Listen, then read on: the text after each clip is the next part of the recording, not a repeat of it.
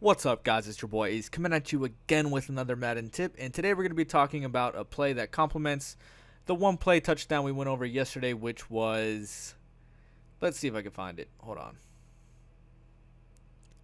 Seams HB option, cover 3, one play touchdown, I posted it yesterday so if you're interested in that check it out after you watch this video. But this play today is going to be not a one play touchdown but it is easy to read and you have two really good routes on it. You have C route and a post route. But before I get into that, just another reminder that I am about to be starting up my second league of the Madden season. Uh, looking for Xbox One players. Got a few more spots. I think actually three spots to be exact. I'm looking for people who fit a specific mold. So if you're interested, email me at acemaddentips at gmail.com or just comment in this video and I will reach out to you. But those spots will probably be gone by tomorrow. So if you're interested, get in on it while you can, and let's get into the play. So wide receiver corners, and we're just gonna do random. So there's a lot you can do with this. I wish that the post route went further down the field. I wish it had more depth on it. But we'll just make do. Uh, the post route is really not the main part of the of the um, play. It's really the C route, and a couple things we can do here is we can put A on a drag and put B on an out route. What that's going to do is against match coverage, we're going to get Y, our post route, open on that side of the field. So A and B clear those out, and then uh, we're going to be looking, you know, most of the time our first read is going to be the C route, which is X. And the only time X will not be open is whenever they're in like a cover two sink type deal the way you'll be able to tell that it's a cover two sink is if the cornerback that is on X right now, he kind of squats and reads the quarterback's eyes the whole time. He doesn't turn his back or anything. He just kind of has his body towards the quarterback at all times. That's when you're not going to throw it. You're going to probably throw it to your drag route. So let's see what happens here. It's man coverage. Most of the time, he's going to get clear separation there. Uh, depends on what kind of cornerback is there. But it was Brandon Flowers. He should get more separation than that. Uh, again, it was about a 10 yard gain, nothing amazing. Uh, try to pass lead towards the sidelines, and you'll have more success there. So, right there, the curl to flat was pressing the post. That's what allows us to get the C route open.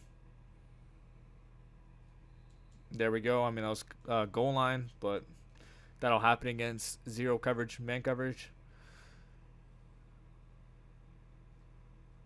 So I want you to pay attention right here. At first, I think it was zone coverage. Let me make sure. Yeah, so it's zone coverage, but it's a match coverage. So this guy ends up getting manned up on the linebacker. He gets bracketed, so that's obviously not going to be something you want to throw to. But this guy, if you just look long enough, he'll like eventually, you know, turn his back, and that's when you know he's officially manned up. And then he gets beat when he breaks back outside.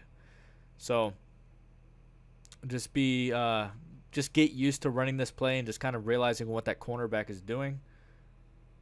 Right there, he manned up again. You're gonna get him most of the time. I mean, sometimes the cornerback will break it up.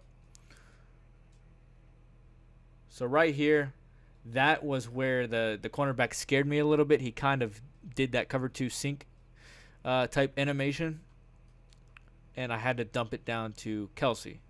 That's okay. We'll still get a you know decent size uh, gain right there. Kelce's good. He'll get another first down. So it's kind of a high-low read between the C route and the drag. And I'll show you the post in just a second. You know, the the post is going to get open against the man coverage, and then uh, against match coverage, he'll get open on that side of the field. So this is a blitz. If it's a cover three blitz, it will automatically be match coverage. So let's see if we can get the post route open. Um, he gets open, but it's man coverage.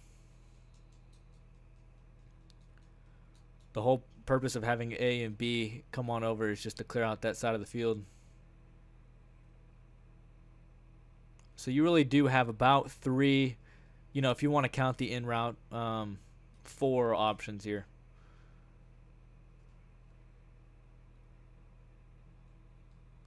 Right there, I was looking for the post, but it ended up not being match coverage.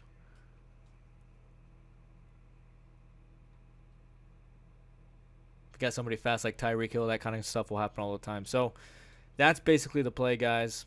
Um, you know, cliff notes on this. Basically, just read that cornerback that's on X, and then if you just don't like what you see, just drop it to your drag. That's the easy way to run this play. Some of you more advanced players, you can use all four routes. But right there, I mean the the flat zone or curl the flat, whatever it was, is not going to get back there and help defend the C route. So I hope you guys enjoyed that play. Please drop a like if you did. And as always, if you enjoy daily Madden tips, please hit the sub button. Appreciate it, guys.